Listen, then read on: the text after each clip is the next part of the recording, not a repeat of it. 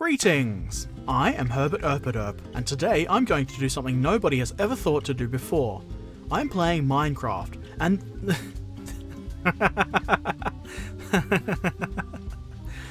that cow is an idiot. Anyway, I actually play Minecraft fairly often. I've almost completed my house, and so I thought it would be a good idea to do a tour of it. I guess it makes sense to start with the outside. This here is my farm, in which no creepers are allowed. This here is the little shack I started with. It is now Herbert Erpaderp's Dirt Emporium and Snack Bar. Come on down and get yourself a delicious treat. There's not much in here but dirt and cobble, but it was a safe refuge at night when I was building my house. Around the back I have some acacia trees because I needed the orange wood for my stairs and fences. Here are my stables, which contain these happy fellows. Nothing too fancy out here, really. Here's the trapdoor leading to the centre of my house. Oh, hello slime. You can see why I call it the Herbert Hole.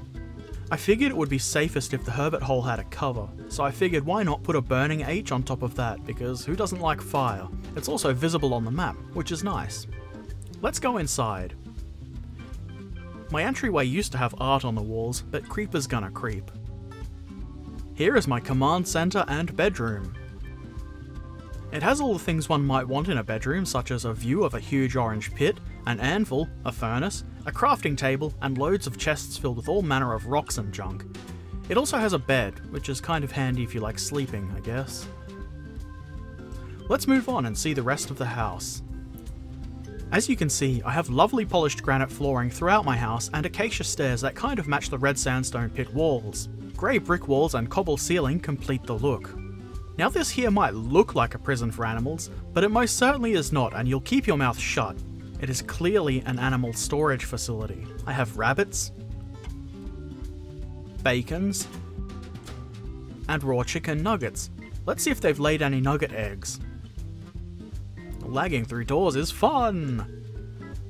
Oh, and that one seems to want his freedom. Five eggs. Let's see if we win a prize. Nope. nope. Nope. Nope. No. Ah.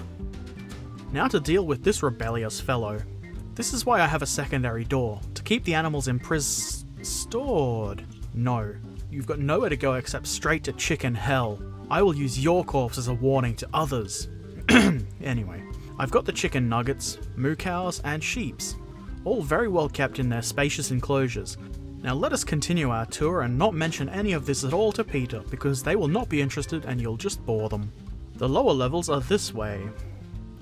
This little junction gives us the option of heading towards the ice room and auto smelter, or the enchanting room, portal room, rail station and archery range.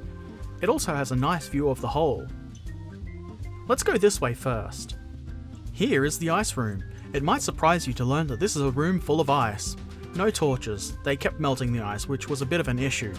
Fortunately, the light in here isn't too bad anyway.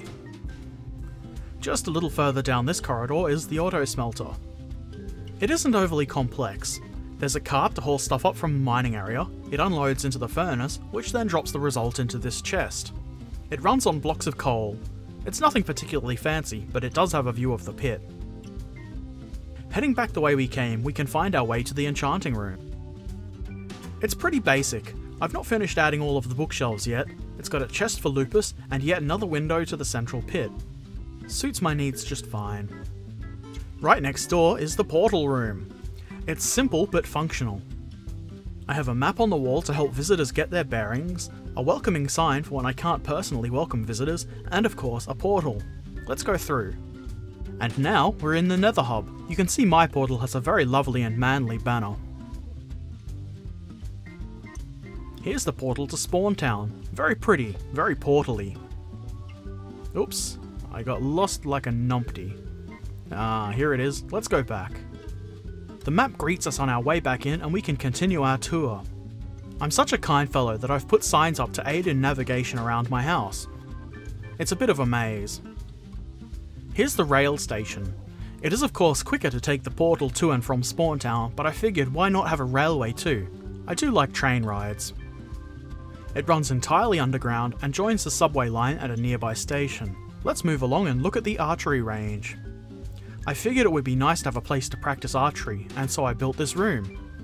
There isn't a lot of archery stuff here, but that's okay. Visitors can feel free to bring their own stuff. It's about 50 blocks long. The idea, obviously, is to hit the target at the end of the range.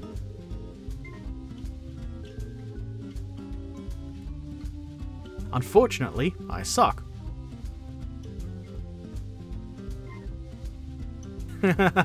Finally! Such bad shooting. I'll pull the arrows out and use a range more suited to my skill level. Boop. The Herbert Hole has fun activities for all. Moving on. Here's another junction.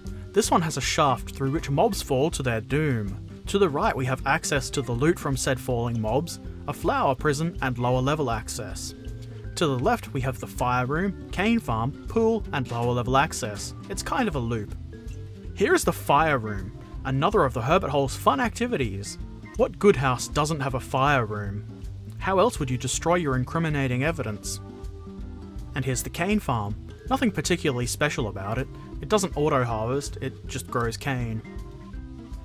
And here's the pool. Nothing too exciting here either. I don't have any poolside furniture yet, but who needs that when you've got such a view? It has a shallow end and a deep end, and the water is just right. All I ask is that anybody that uses the pool refrain from urinating in it. Best to avoid drinking the water anyway, the creepers probably piss in it when nobody's looking. Moving down the stairs we have a choice of left towards the lower levels or right towards the lava room. Everybody likes lava, right? Who wouldn't want a room filled with lava in their house? Crazy people, that's who. Moving on.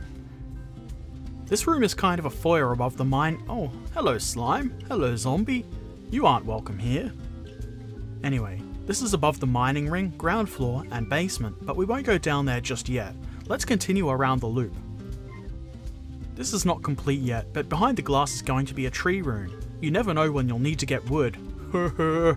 and why not have a supply inside your own home? The trees will be accessible via this staircase. As you can see, I've got quite a lot of digging to do. Let's move along. Heading up these stairs we find the Mob Loot Collection Chamber. This is good for obtaining things like gunpowder.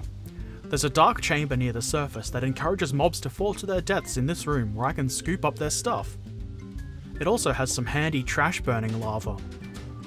Hmm, uninvited mobs in my hole. Perhaps I need more light. Oh well, on we go. Here we can see the rails for the minecart that runs between the mining ring and the auto smelter. I thought it would be fun for that to be visible. And here is the flower prison. All of these flowers have committed absolutely horrible crimes, and so they've been incarcerated in this room. They have a nice view, which is frankly more than they deserve. Let's get out of here. We just follow this path and loop back around, and eventually we end up in the junction again. Now let's head down to the mining ring. Grr, you bastards, get off my lawn! Uh, I mean, granite. As the name implies, the mining ring is a ring, from which I will be mining. Pretty simple, it isn't completely finished yet. It has four of these stairways down to the ground floor. Oh, Smelleton. What are you doing here? What a jerk. Absolute jerk. Let's take a look outside. I guess the hole would be more impressively deep had I started atop a mountain or something, but it took me a really long time to dig this out, and I died many times. It also took quite a long time to obtain all the red sandstone. There seems to be only one accessible mesa biome on this server, I had considered making this floor out of slime blocks for bouncy fun times, but even though they spawn here, it would probably take me years upon years to actually gather enough slime. Let's take a quick run around the mining ring. Hmm, we'll avoid that friendly fellow by going around this way. This room is the terminus for the cart that goes to the auto smelter. It's obviously not finished yet, still need to install the rails for the cart. I should actually kill that Smelleton, Ha! None shall defeat me, you fool! Here you can see how incomplete this level is. Obviously I've been mining down here, so it's a bit messy. There's still plenty of completely safe lava around. We can go all the way around until we see that fellow again. Hey buddy! Clear evidence of plenty of mining still taking place here. I still need to finish all of this off. Let's see what's out here. Uh, nope. Not today, thank you kindly. Let's go around here and have a look at the basement. It isn't really much of a basement, it's really just where I've exposed all of the bedrock. I don't know if it's even navigable at all. In fact, it probably isn't, but it's here anyway. Digging all of this out got me some diamonds, so it was at least a little bit worth it. Since the house isn't particularly convenient to navigate, I have this here handy ladder for quickly reaching the surface. And we pop out through the trapdoor we looked in earlier. So that's my Minecraft house, almost complete. Once I've got the final touches on, I'll go and resume work on my Mesa castle.